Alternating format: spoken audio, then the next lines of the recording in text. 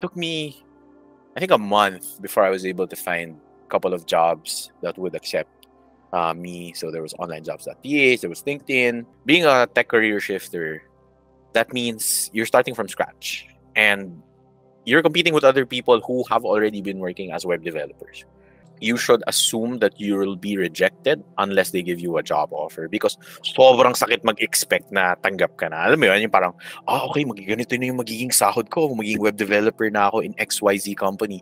But you're only past like the initial interviews or the first two interviews or the technical interviews and it's emotionally taxing to be rejected. Ganun talaga eh.